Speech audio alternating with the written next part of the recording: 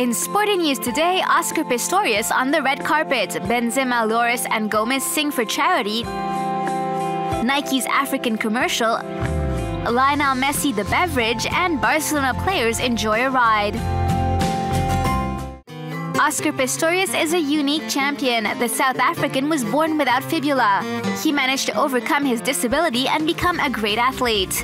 At 25, he's already won four gold medals at the Paralympics and he has his heart set on taking part in the 2012 London Games. Since his carbon fiber prosthetics have been given the go ahead, Oscar Pistorius can now legally compete alongside able bodied athletes. In 2011, he became the first athlete with a disability to win a medal during an able bodied championship, a feat that was rewarded with a trophy at the Laureus World Sports Awards on February the 6th in London. Trace Sports caught up with the South African champion on the red carpet before he received his award. Very, uh, very nervous. It's great to be here once again. Uh, you know, the Laureus, um, the World Sports Awards is, is a very special uh, event. I don't think I'll ever be used to the red carpet. It's always very nerve-wracking. I've been down here a couple of times before in the past, and every time I get nervous. You know, I'm very comfortable on the field or on the track in front of thousands of people, but uh, walking down here is a bit nerve-wracking. Karim Benzema, Bafétimbi Gomis, and Hugo Lloris are the latest celebrities asked to perform at annual French charity concert Les Enfoirés. French artists and celebrities have taken to the stage in the city of Lyon to support the needy since 1989. After Zinedine Zidane, David Douillet, and Michel Platini, it was Karim Benzema, Bafétimbi Gomis, and Hugo Lloris' turn to enjoy the troupe vibe. The Real Madrid striker was not intimidated at all for his big premiere. He did a few tricks before grabbing the mic. Karim Benzema sang Daniel Balavoine's Le Chanteur, the singer, renamed the footballer for the event.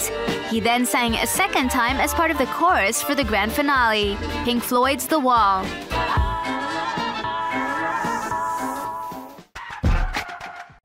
Nike is advertising in Africa. The famous American brand is surfing on the popularity of the Africa Cup of Nations and has chosen to showcase four African talents. A first for Nike, which is more used to generating buzz in Europe and the United States. Codename of the campaign, New Generation. A golden generation consisting of Ivorian player Gervinho, Ghanaian Kwadwo Asamoah, his fellow countryman André Ayew, and Moroccan player Adel Taarabt.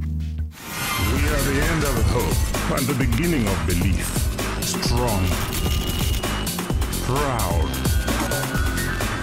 ruthless, brilliant.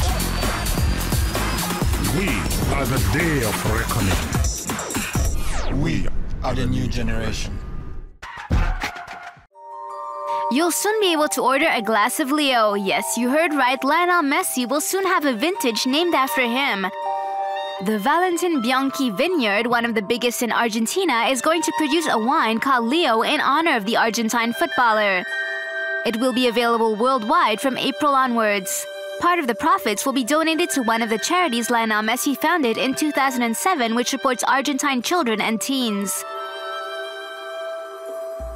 The Bianchi family can count on the support of the incredible network of Lionel Messi fans to buy Leo wine. After only a year, Messi has over 30 million fans on Facebook.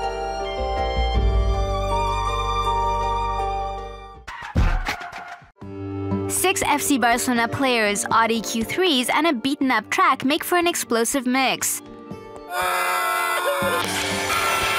Gerard Piqué, Cesc Fabregas, Carles Puyol, and Thiago Alcantara became bona fide racing aces when they took their Audi Q3 for a spin.